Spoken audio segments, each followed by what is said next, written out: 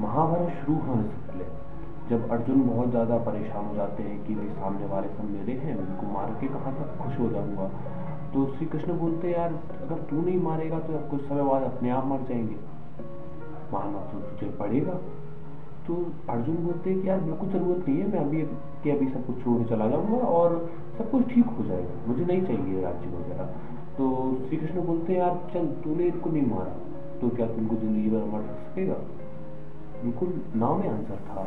तो same thing happens in our life that some of the times we start realizing that there are some of the things we can do as thing तो राधा जैन की ये सोचना कि we can do everything we can think a simple thing no there are some things which is which are impossible that we can fly without aeroplane so start realize in that thing you can do everything